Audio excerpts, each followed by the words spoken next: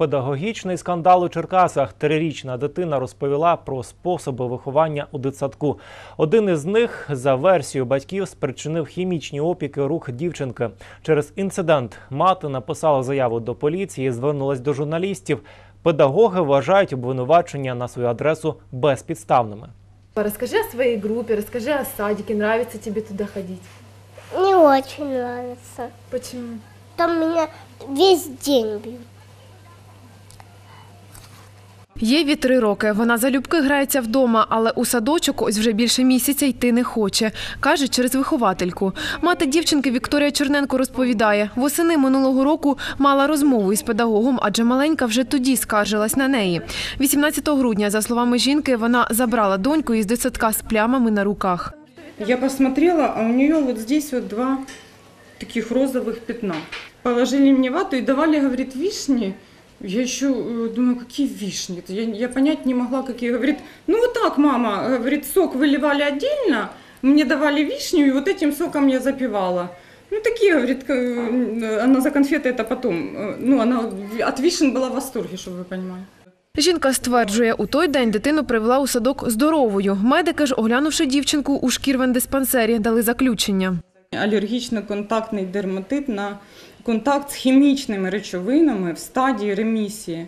Звинувачення на свою адресу вихователька Людмила Ткаченко відкидає. Зізнається, у неї був конфлікт з матір'ю Єви. Вона робила зауваження, що та нерегулярно приводить дівчинку у садок, але дитину не чіпала, запевняє педагог із 25-річним стажем.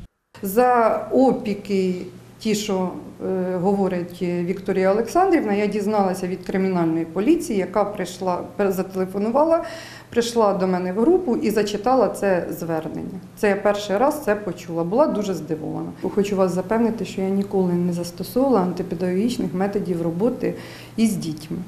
Дехто з батьків, які також водять дітей в групу Єви, на роботу виховательки не нарікають. Через інцидент у закладі провели службову перевірку, каже завідувач дитсадка Ольга Михайлова.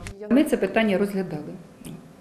І батьки зробили підписи про те, що вони жодних якихось таких прийомів і методів, які жорстоких чи неправомірних, які б використовувала Людмила Валентинівна, вони цього не помічали за часи відвідування їхніми дітьми дошкільного закладу.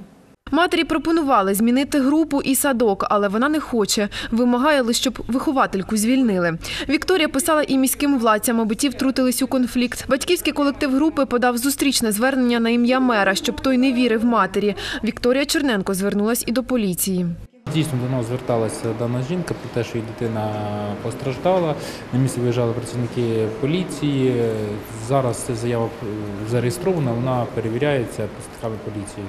Тривога за своїх дітей цілком природня, зауважує психолог Любов Жеребньова. Додає, малеча тонко відчуває настрій батьків і може грати на їх почуттях, іноді фантазувати, щоб привернути до себе увагу. Але у будь-якому випадку до дітей і їхніх тривог слід прислухатися.